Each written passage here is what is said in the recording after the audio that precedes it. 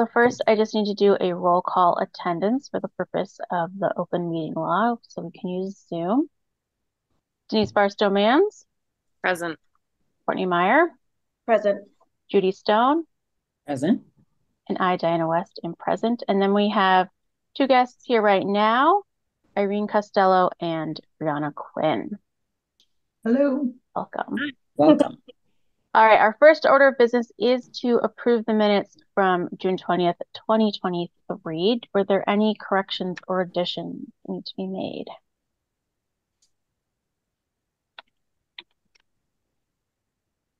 Motion Okay. to approve is written. Thank you, Denise. Do I have a second? Second. Thank you, Judy. So now we have to do a roll call vote. Denise Barstow Mans, Aye. Courtney Meyer, Aye. Judy Stone, Aye. and I, Diana West, also vote yes. Motion carries. Thank you, everybody. Okay, now we're going to welcome our potential members. So I was a little bit misinformed. I thought the select board had already appointed people. That's not true. Uh, at the September 6th meeting, they will review all of the applications and appoint people at that time. So Irene and Brianna have both expressed interest. And then we also had two other people, Emma Dragon, who goes by Dragon in professional settings, and uh, Mary Carney is also interested. So um, Irene, do you want to tell us a little bit about yourself? Sure. Um, I moved to Hadley from Boston or the Boston area about 18 months ago. And I have a um, woman owned um, wholesale baking company called Effie's Homemade. And we make a line of tea biscuits. You might have seen the brand um, with the, uh, our flagship product is the oat cake. And we actually have quite a nice following in the Pioneer Valley. We're in um, Whole Foods in Hadley uh, River Valley Co-op, Atkins Farms, um, Atlas, um, and a few oh provisions and a few others in the area. So um, you may have seen the boxes. And I, how long? Do you want me to focus on anything in particular? Uh, what's your interest in history and Hadley Yeah. history? Well, I was a history major in college.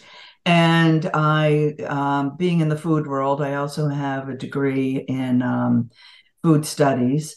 And the history of food was the, you know, the major, the, the core um, sort of curriculum there. And I love history. And you can't believe my awe when I landed on the West Street Common, not knowing about the regicides because I spent uh, eight years growing up in Connecticut outside New Haven. And there, the regicides were known as three judges. And so when I moved here, and like less than two months after living here, I heard about the Angel of Hadley and the regicides. I'm like, oh my gosh, my life has come full circle. it was unbelievable. So, yeah, and um, my, you know, in my business, I'm, you know, I do a lot of project management. I do, um, and in my past careers, um, I've been involved with um, my alumni association. I ran the Boston Club alumni club um, when I lived in Boston, and I've done a lot of volunteer work for my my school. Wonderful. Thank you. Brianna, would you like to share some stuff about yourself? Sure. Hi, I'm Brianna. You can call me Bree. Um, so we recently bought a house in Hadley after living in Los Angeles for quite a while. Um, I grew up actually in Amherst, but only lived there till I was 18 and then moved away. So it's been a long time since I've been back. And after we found out we were having our second child, we decided it's high time to get out of there and move back this way because it's a much better area to raise kids. Um, and so we're very happy to be here. It's been really, really nice. And we really want to get involved in the town and what's going on here. And um, I felt like the historical commission was a good place for me to start because I also have a background in um, art history. I went to Mass Art in Boston and studied art history at length and um, history of architecture. And then I went on to work in the entertainment industry in LA at length. So um, I have a lot of interest in things like photography, graphic design, videography, all of things that I know you guys are currently kind of working towards in your group. Um, so I felt like those roles could be beneficial potentially for the commission. Um, and I just have a really vested interest in the community that we are now in. We want to plant roots. We want um, to know more about what's going on for our kids and just kind of settle down here. So I thought that getting involved in what's going on in the town was a great place to start. Um, and this seems like a kind of niche area that I fit in, whereas like I don't really know what's going on with um, the overall like financial status of the town or where the money is best allocated. And so starting somewhere that I knew that I could be of help seemed like a good spot to be. So thanks for having me. I'm excited to be here. Welcome. Does anybody have any questions for Irene or Bree? Okay, so feel free to stay for the whole meeting if you have to go, no worries. Um, I think we will be under the hour that we have allocated. Um, so I'm ready to move on to the next item on our agenda, which is the V1 Vodka slash St. John's Church CPA application. So Paul, who owns V1 Vodka, was not able to join us tonight, um, but he submitted an application for $200,000 in CPA funds to help repair the steeple, roof, and some plaster work on um, the building he now owns and operates, which is formerly known as the St. John's Church, located next to the Goodwin Memorial Building. Uh, the building is part of the Hadley Center Historic District, which is on the National Register of Historic Places. Denise, did you have anything you wanted to share from last night's CPA meeting? Yeah. Um, do we know why Paul isn't coming? Is it possible that he is thinking about uh, like withdrawing his application and doing it? No, I so this is partly on me, I think. So when he first reached out to me about a month ago, I mentioned tonight's meeting and um, then there had been some emails and he hadn't followed up with me on my last email that I had sent him. But um, I knew he had submitted the application since Mary Thayer had forwarded it to me, and then I forwarded it to the rest of the committee for you guys to look at. Um, and so then I just reminded him today that the meeting was tonight, and here's the Zoom link. And he told me he was traveling and would not be able to attend. Okay. So I have not heard that he um, retracted his. Yep. Okay, that's fine. I don't want to like put, yeah. Um, all right. So Paul is applying for the St. John's Church um, that's now a private business. He wants to do work to the steeple, the roof, um, some exterior stuff like the doors and the walkways, uh, the windows, and then some plaster work inside the building. Um, I think the total was like $262 or $262,000. Um, and he was applying for 200,000. So it's like around 80%. Um, and it's a it's a big it's a very different ask for the CPA because it's a private business. And the CPA has um, awarded money to um, or like brought to town meeting um, stuff for like church, uh, the First Congregational Church in North Hadley, the First Congregational Church in Hadley, um, the Historical Society. So all of those are not town entities, but they are nonprofits that operate in the town and they operate in historic buildings. So Paul's operating in a historic building, but the difference here is that he has a private business.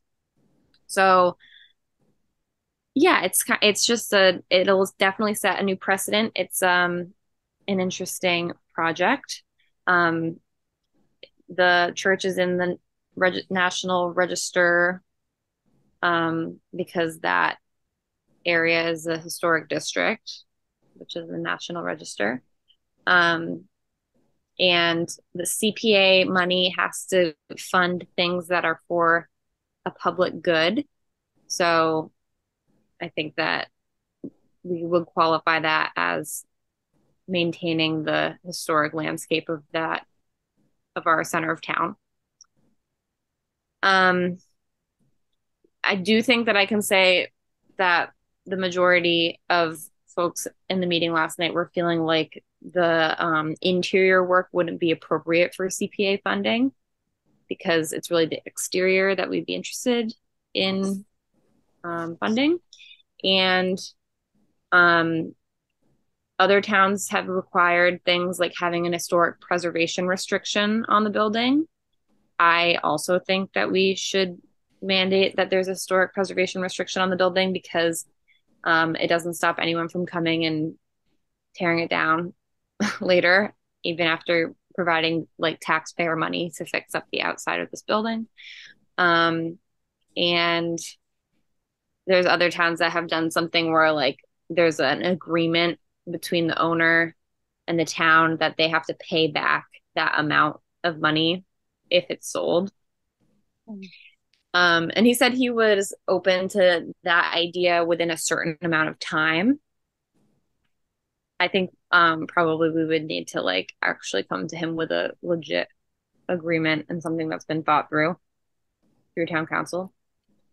Um, yeah. So that's the background.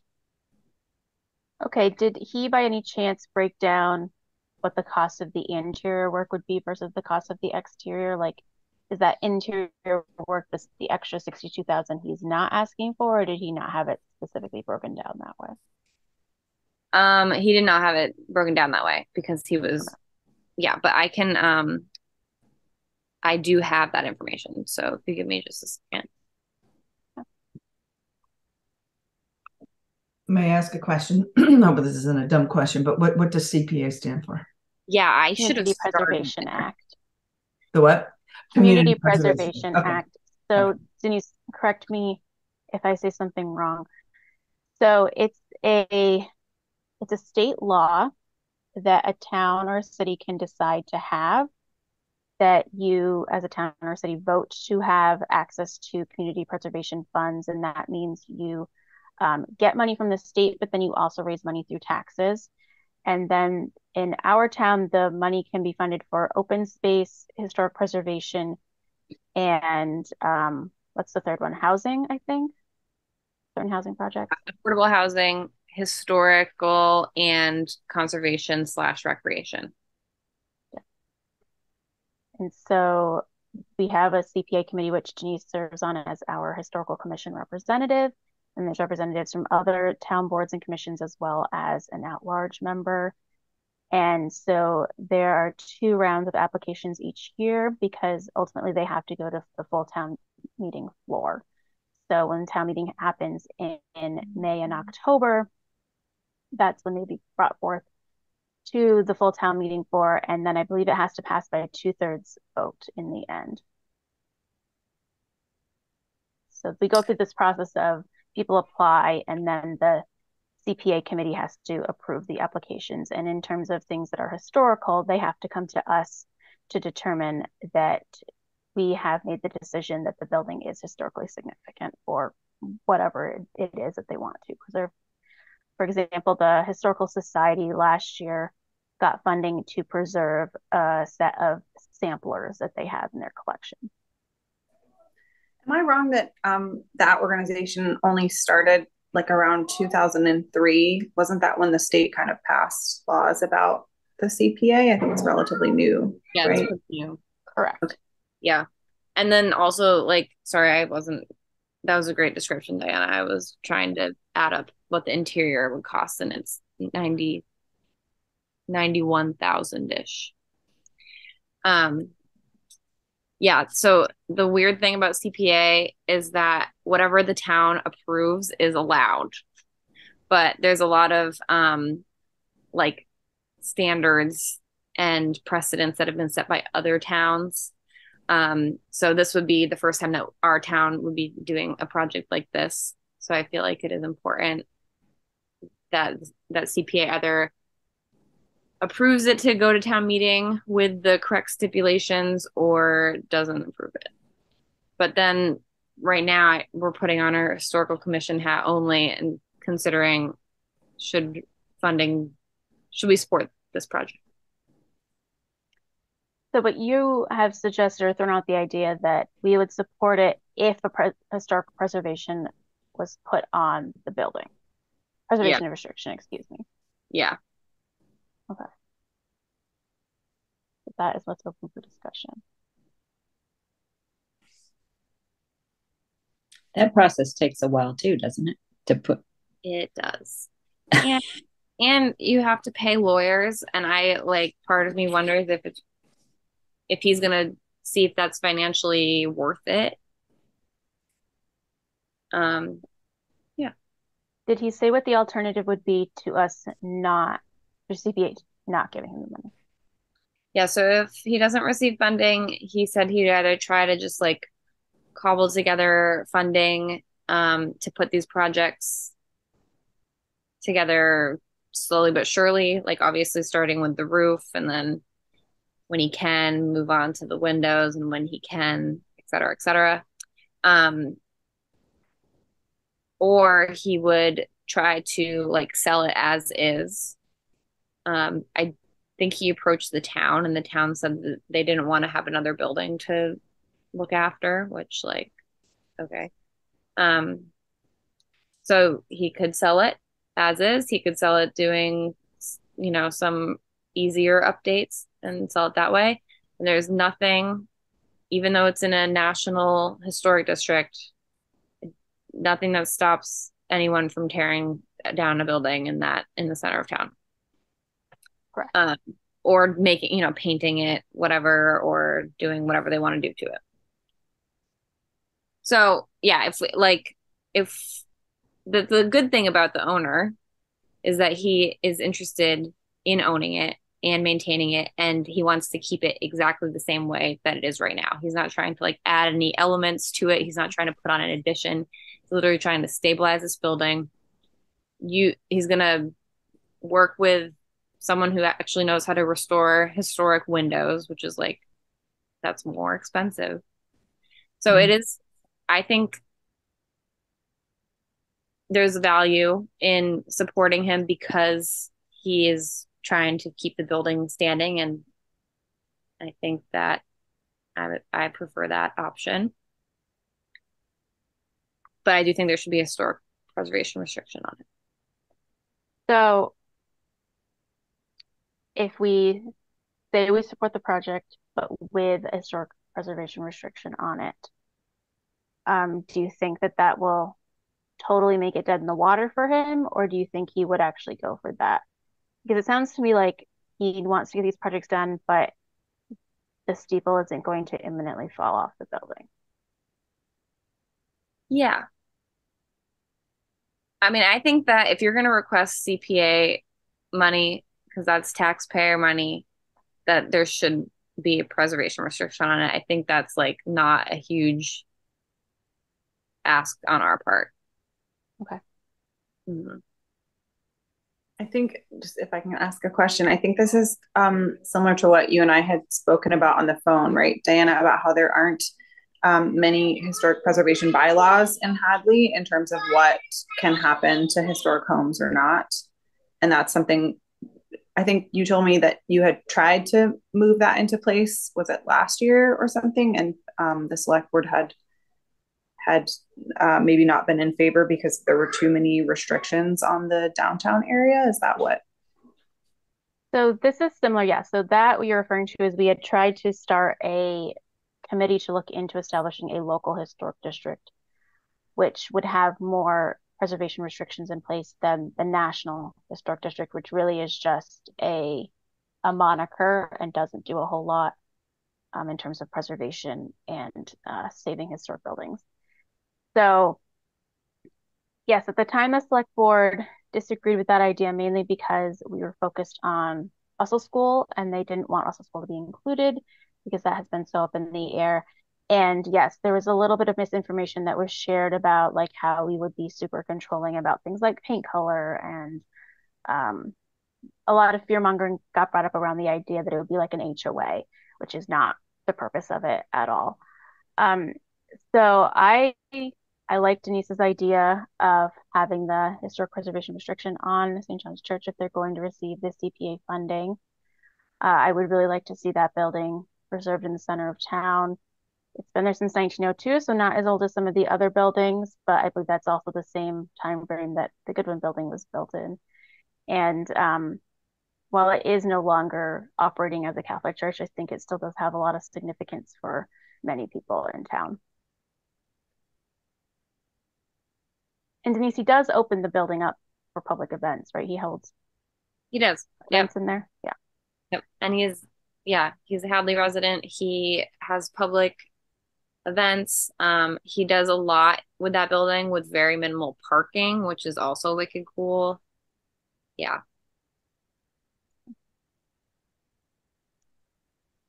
All right. Well, if we are in favor, then I can write a letter in support saying that we support CPA funding for it if a pres historic preservation restriction is put Yeah. on the building. And then I don't know about like any caveats about the interior work.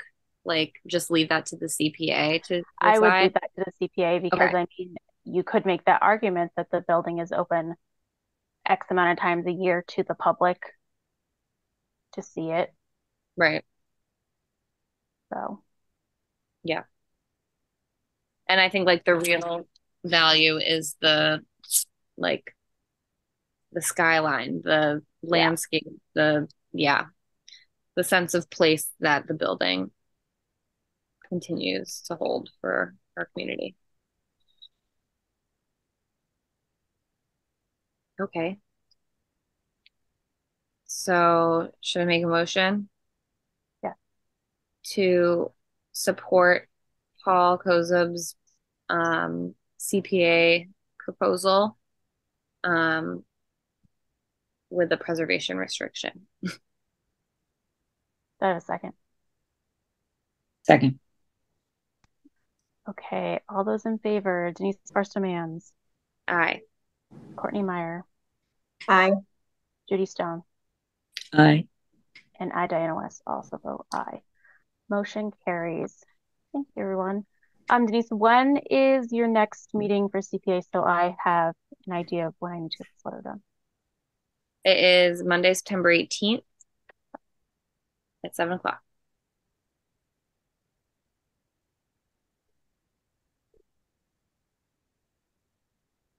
Okay, next thing on the agenda is to talk about how we are coming along on our CPA application projects. So for those of you who might not know, last year or last spring, we applied for CPA funding to complete three projects we've been working on. One is to erect four signs with historical information in Hadley. Uh, they'll be in English and in Spanish. The other is to update the West Street walking tour. And the third one is to create an audio driving tour. Hmm. So, signs update. So, Adriana fell through on doing the Spanish translation, unfortunately. So, I hired two other people to do that work, and um, they did that work. And then I found out that I perhaps had the wrong final text that they translated. So, um, Courtney and I are working on fixing that, and that should happen soon. Um, once we get the Spanish designs finalized, then we can fill out the application with the building commissioner. And then once they approve it, we can finally go to fabrication. So slowly but surely we will get there. Does anybody have any questions about the sign? Okay. West Street walking tour. So Courtney and I are very close to being done with our final draft of this. Uh, we included two excerpts, one from a Holly Hobie work and one from a, an, a Margaret Atwood poem. And we've concluded we should probably get permission to be able to publish those in our little pamphlet so we don't get in trouble down the road. So Courtney reached out to Holly Hobie's, um, is it Hobie or Hobby? Uh, Hobby. Hobby, excuse me, Holly Hobbie's representatives. And I reached out to Margaret Atwood representatives. I had to actually mail something to Canada for that. They told me they would get back to me in a week. So, knock on wood, I did that last week. Um, I know Courtney's had trouble trying to get a hold of somebody for Holly Hobby. Yeah, so I called and emailed and never heard back. Um, so I did send a letter, uh, which you recommended. So, and I think I sent it uh, the middle of last week. So we'll see. I mean, at the end of the day, we did our due, dil- due diligence. Yeah. And we're not making money off of this project. Um, it's educational purposes only. So just wanting to cover our bases. Any Can questions ask- about? Oh, Yeah. sorry. Um, where will the pamphlets be located once they're published for the walking tour? So there will be a copy that will be free online that you can download. And then if you want to purchase an actual pamphlet, they have been at the library. And Denise, do you have them at Barstow's? I sold out, but we would be happy to sell more for the historical commission.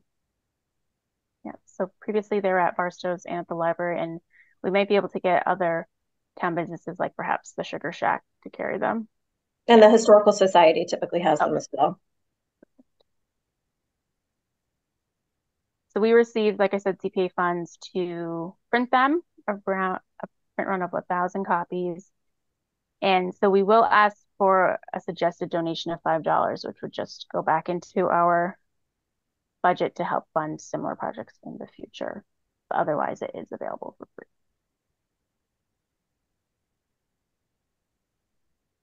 Okay, the driving tour. So we finalized that script, and Alex at Hadley Media has been given the green light to start recording. So he has an intern who is interested in doing a lot of the narration, and then he has another staff person who will also be doing some of the narration. So I was in contact with him last week, so probably that'll be starting next couple weeks. We'll hear more. And that's a female presenting person mainly, and then a male presenting for the others? Correct. And what's the um, scope of the driving tour? So I don't remember the total length of it, but we have you start it down in Hockanum, and then you drive up Route 47 into the center of town, and then you head over to the Common, Mhm. and then you head up 47 into North Hadley, or it finishes sort of in that area where River Drive meets Mount Warner Road. Nice. And um, so if it's a driving tour, it's something like on an app um, that you. Yep. So we're still trying to figure that out where we're going to host it. Um, looking for a free hosting site. We're hoping that it can be something you can download onto your device, or if you have access to the internet, then to be able to listen to it kind of like you would listen to Spotify on your phone. And it would operate where it would just go to the next one, or you can pause and restart it as you would like. And we're also working on creating a preset Google Maps. You can just start at the first one and then it'll just tell you where to go on the next one. Fun. So are you familiar with um, Autio, A-U-T-I-O?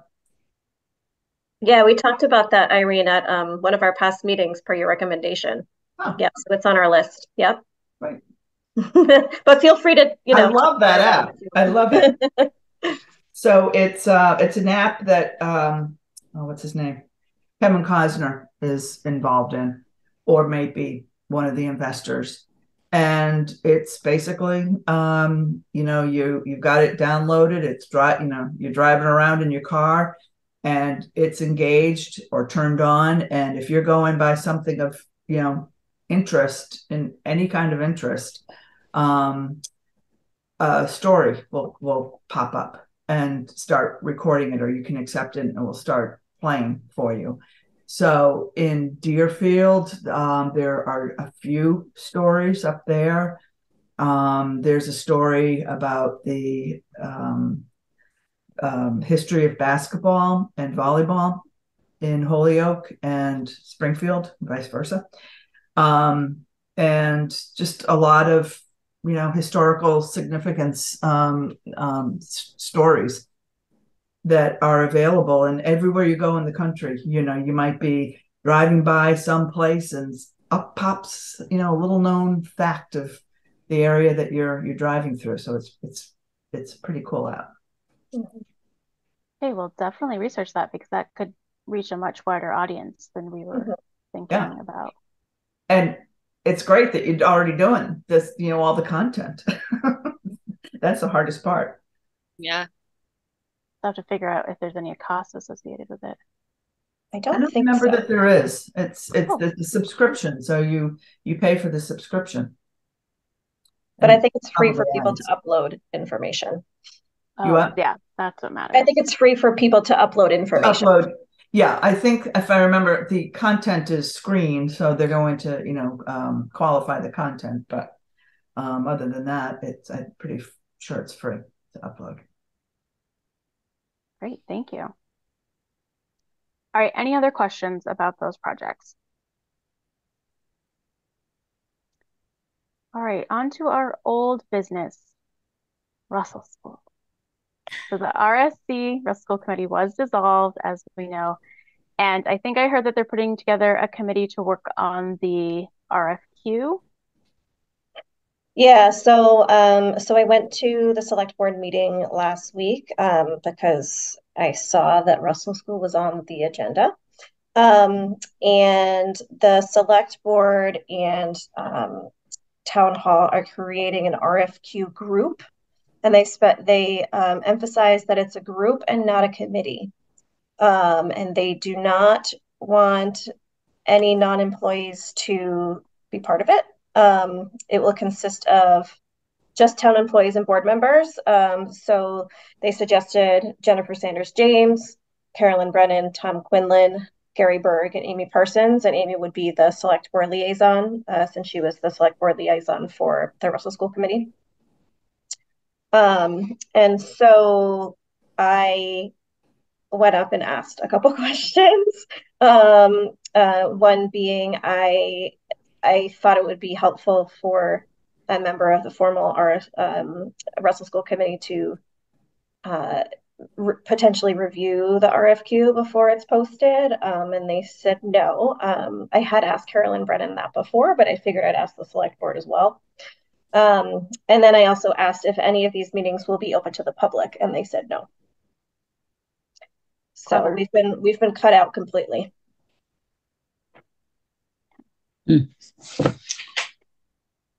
So just to provide some clarification for those in the room who might not know, by making it um, town employees only, they can make it a closed door meeting.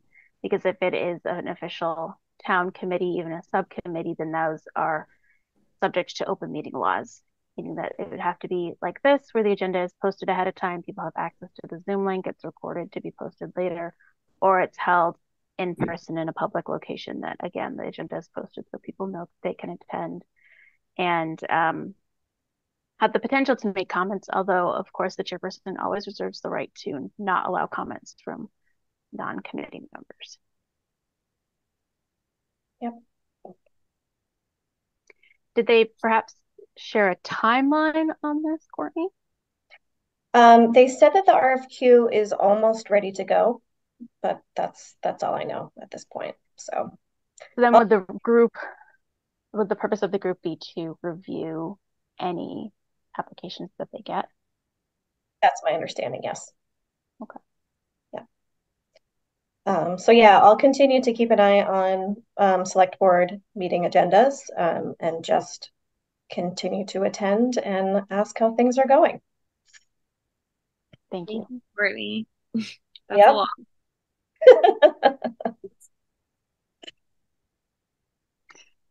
All right. Any other questions about Russell School? I have a feeling it's a very long issue. I don't know where you got that idea. Um, I can try to give you the Spark Notes version. So Russell School is the building that is across the street from the town hall and the First Congregational Church on the corner of Middle Street and Russell Street. And um, it was built in 1894 to be Hopkins Academy. Um, Hopkins was only in there about 15 years before they got a different building, which was actually a house next door that is no longer there. And then the school housed grades, a combination of grades five through eight over the years until 1996 when they built the current Hadley Elementary School. And at that time, it um, had a couple different other schools in there. The Pioneer Valley Performing Arts Charter School was in there for a number of years. And then I'm not sure of the full name, North Star Learning something or other. They're like a homeschool collective was in there. And then probably about not quite 10 years ago, um, the town did not renew the lease with North Star in the attempt to fix the building. And CPA funds were applied for and received to fix the roof. However, they never actually fixed the roof or used those funds. And um, at this point, the building sits there and does not have a purpose, mainly because it is not safe for use. There's a particularly bad leak in the roof.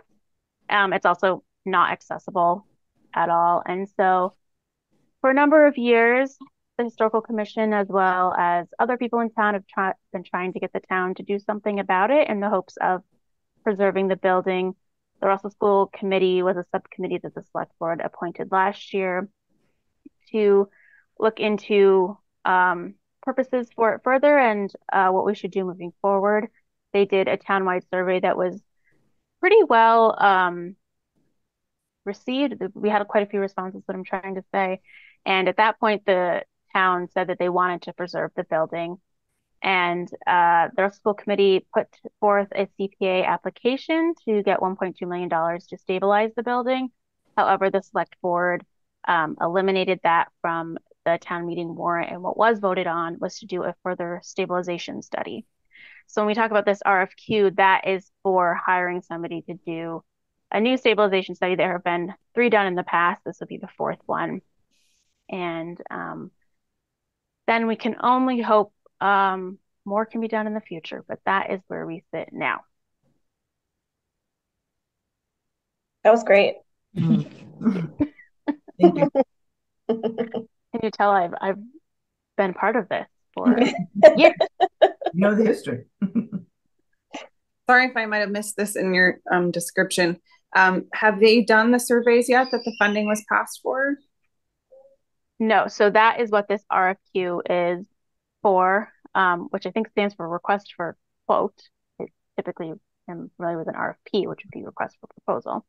Yeah. And um, so it sounds like they're finalizing the RFQ, and then this group will, will review the applications that come in for it. Yes, and um, just a clarification, it's not just for stabilization. Actually, it's not for stabilization at all. They didn't even include that. They included uh, fixing it up, selling, selling it, leasing it, or demolishing it. So that's what the feasibility study will will estimate the cost for all of those things. Wow. Another question I asked about why is the stabilization not in there, and they couldn't give me an answer. So okay, we can speculate on that, but perhaps not in the recorded meeting. Okay. All right. Preservation restrictions. Courtney, you had asked me to put this on the agenda.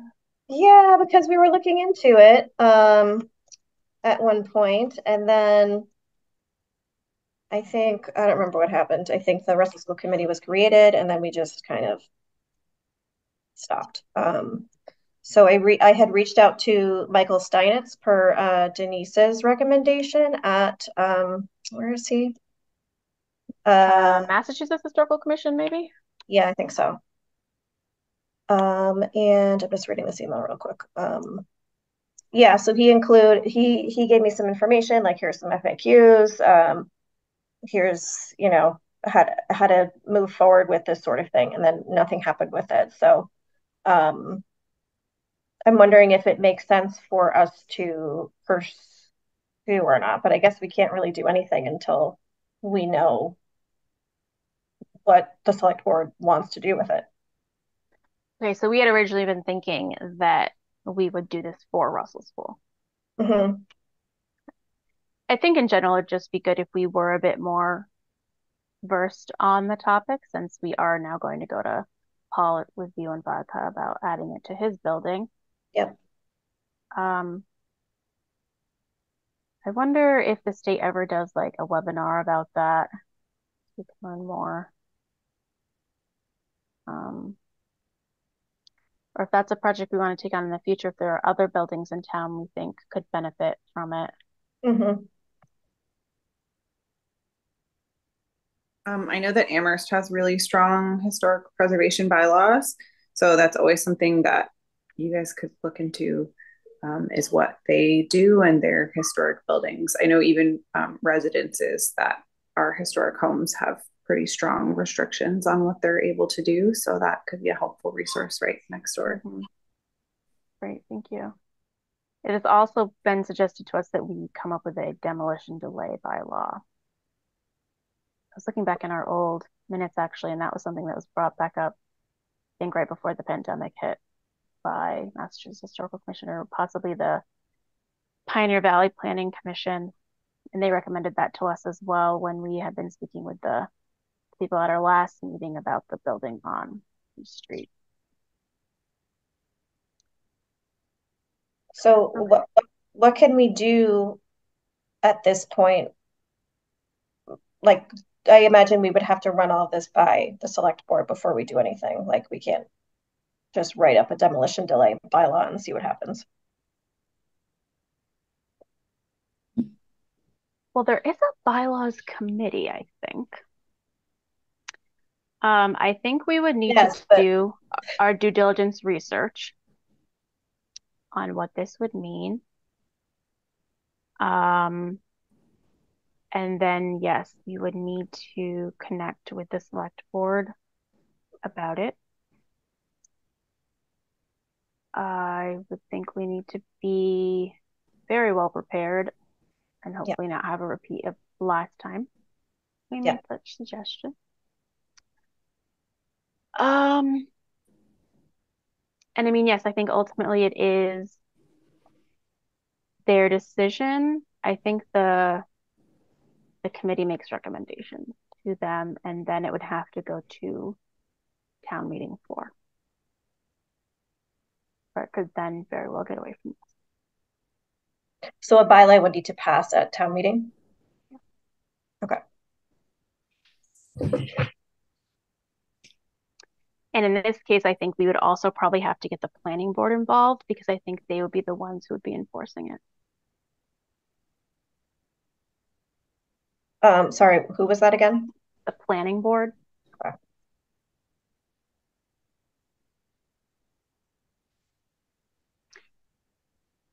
Courtney, would you be willing to research more about what a demolition delay bylaw is Yeah, definitely. and the process for that? Great, thank you. Um, I believe the Pioneer Valley Planning Commission is a potential resource for that. Okay, great.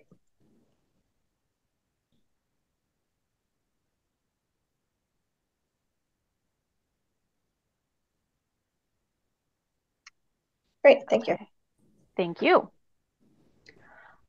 All right, if we're ready to move on, the next thing on our agenda is the Code of Conduct Review and Adoption. So this was something that Jennifer James sent around last week that all boards, commissions, and committees are supposed to approve.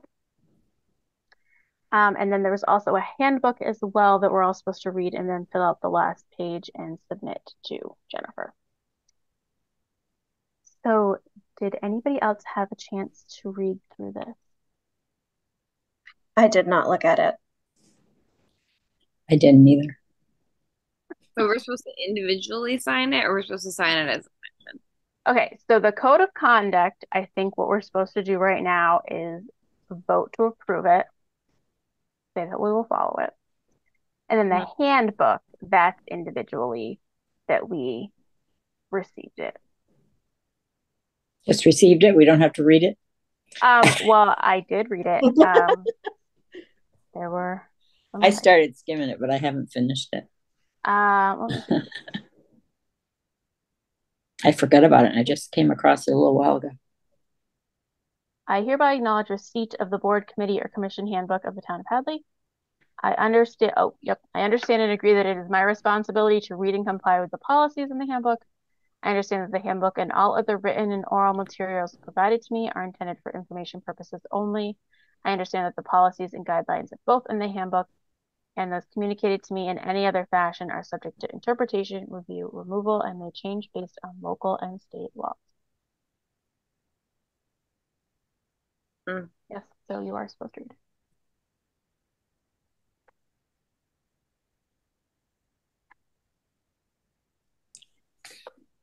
All right, well, how would we like to go over the code of conduct? Because I think we need to vote on this and be done with it. Okay. Do you want me to share my screen? Sure.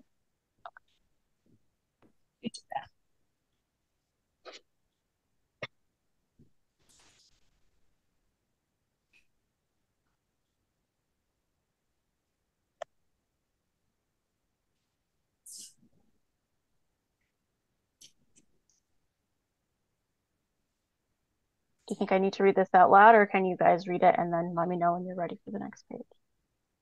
I think we can read it.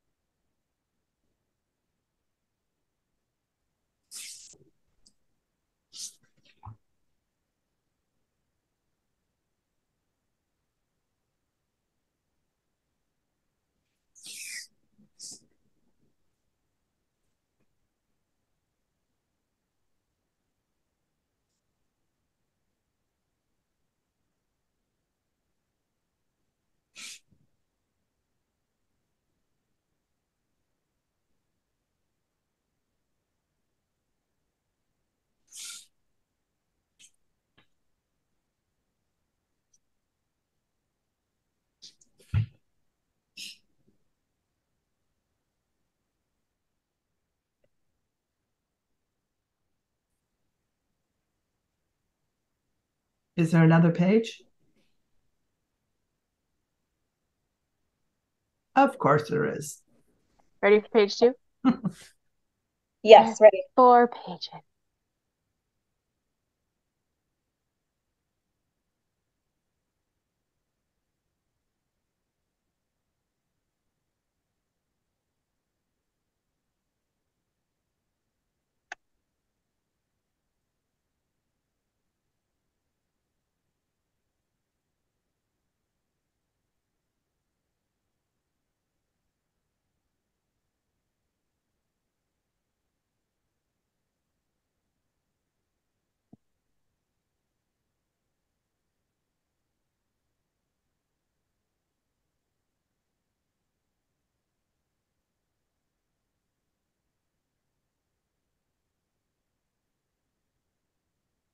Mhm.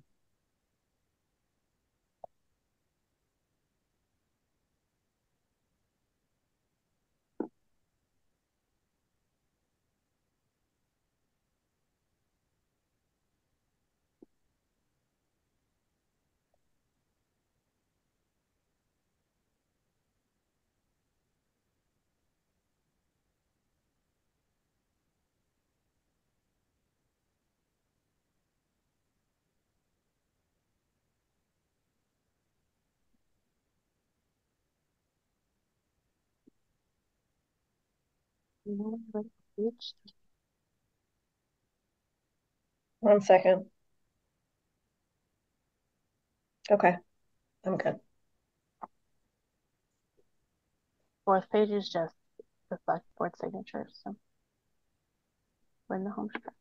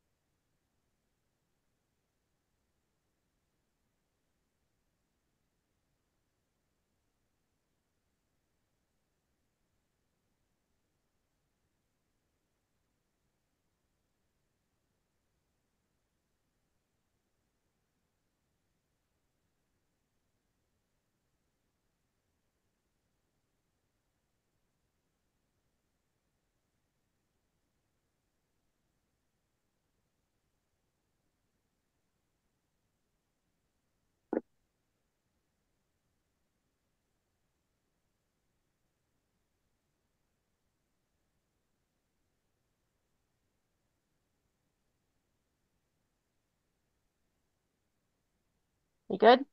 Mhm. Any questions? Is this a brand new document or is it edited from? This is the document I received, I believe, Thursday last week from Jennifer.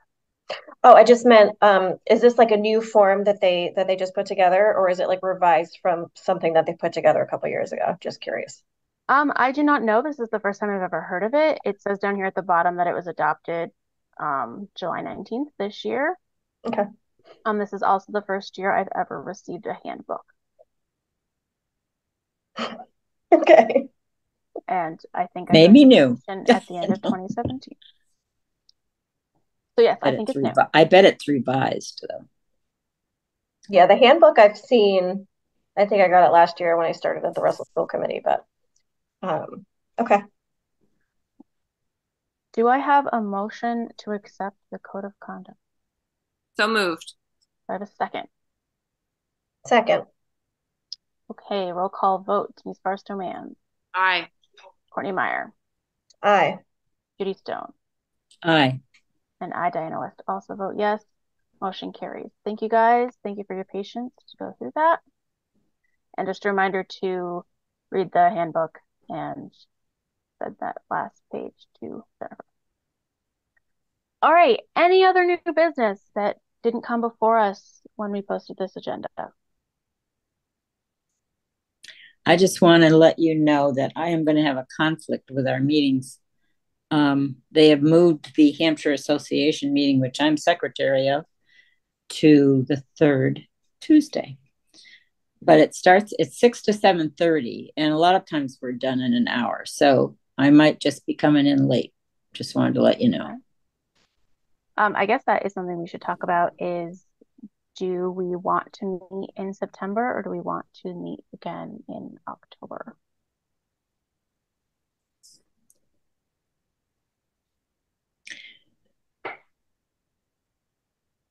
think I mean, is there anything make that, is there anything that we would need to vote on, uh, like before we go to print or anything? Do we have to like officially vote on finalizing anything or? Mm, That's a good point. So yeah, maybe we should meet in September. I mean, we can always decide not to if Yeah. we don't have anything. I'm thinking it might be good to do September because then you'll go November and we won't have to worry about Christmas. That's a good point, or really any of the December holidays that we might run into. Um, we have been pushing off more till the fourth Tuesday. I'm actually will be out of town on the 19th, so the 26th would be better for me. I, I would not be able to attend on the 19th. I'll 26 is fine for me. Denise, do you have an opinion? Nope, I'm adjusting my calendar right now to the 26th. That actually works for me because my other meeting will be the third. Which, you know, it is too bad because September 19th is National Talk Like Pirate Day. So we'll be missing out on that. Missed opportunity. All right. Well, if there's nothing else, then thank you so much to Irene and Bree for joining us. Hopefully, this has furthered your interest in the Historical Commission and you're not ready to run for the hill. We don't always read like boring documents in silence. Yeah, that's a That that's was the first time that's ever happened. special part of the Let's day. do the fun stuff. Thanks for having us. Um, We'd appreciate you guys letting us come crash your meeting. Um, I one quick question: How many people are usually in the commission? Are there people that you guys are missing tonight, or Yes.